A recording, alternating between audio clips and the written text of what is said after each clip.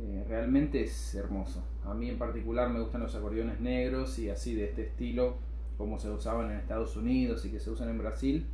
Em, pero bueno, este particularmente, eh, además de que está muy, muy conservado, está prácticamente impecable, em, es un modelo muy, eh, muy raro, en el sentido de que no, no hay muchos, si buscas por internet, no, noble la marca convertible, eh, el modelo, por esto de los bajos que ahora te voy a mostrar, eh, hay uno o dos, o sea, uno de los dos debe ser este.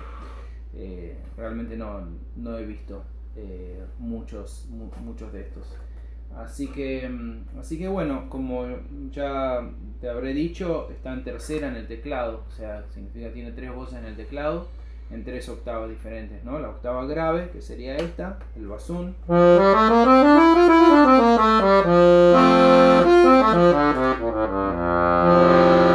resonancia espectacular en las voces.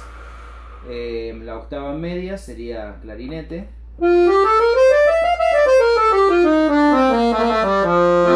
Y la octava aguda, el pícolo, ¿no?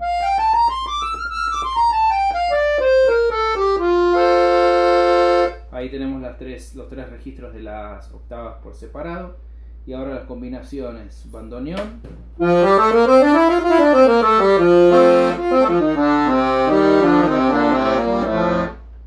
Órgano, que es un registro muy, muy usado en Brasil.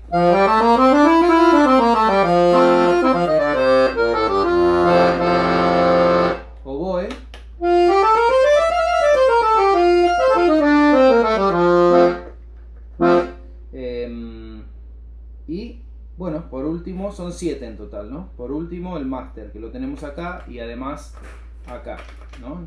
Máster de palma, lo que se llama.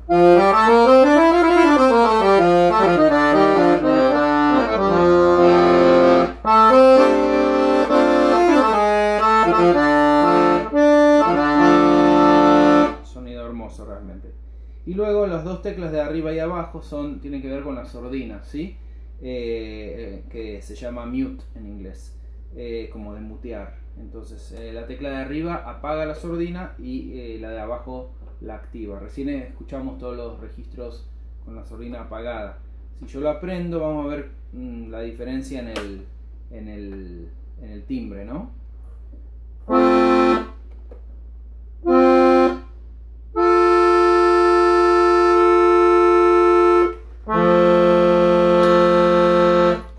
registro.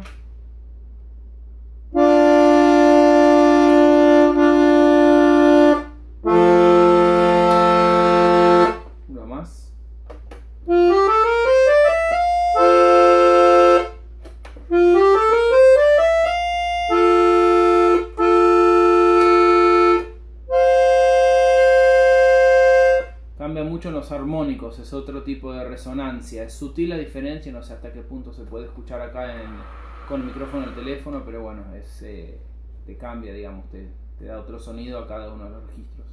En los bajos tenemos cuatro teclas diferentes, empezando con la de abajo que sería el máster.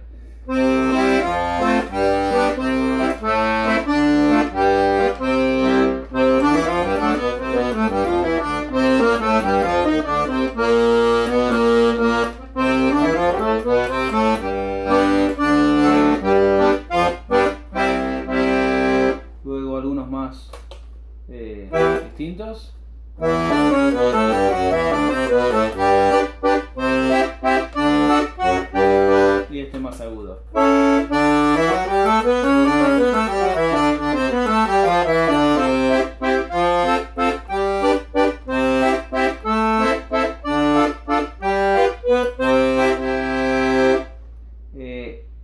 en quinta, ¿sí? Cinco voces en los bajos. Y este registro de acá es el del bajo libre, ¿sí? Lo cual me da tres octavas de notas sueltas. Sería el Do grave. Una octava más arriba. Y una octava más arriba todavía. Las tres octavas en la misma hilera. Está acomodado con el mismo sistema de quintas. Entonces si ya tocas un acordeón con sistema de bajos habituales, es bastante más fácil eh, adaptarse a este sistema de bajo libre que el otro sistema que se llama cromático. Entonces, por ejemplo, si yo toco una escala,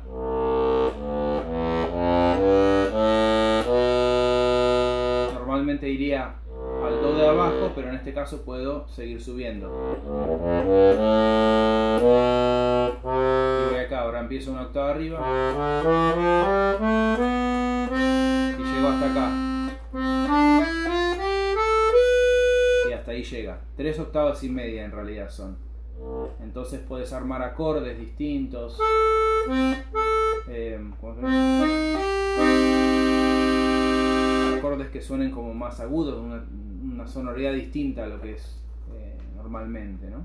Así que bueno, voy a tocar un poco con las manos, así te, das una idea de, de cómo suena. Primero con este sistema de bajo libre.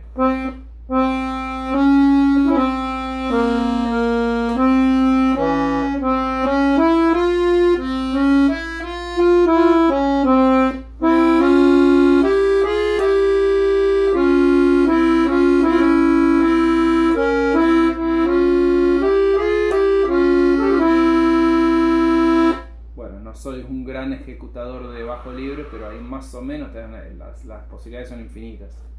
Voy a tocar con el sistema de bajo normal, ¿sí?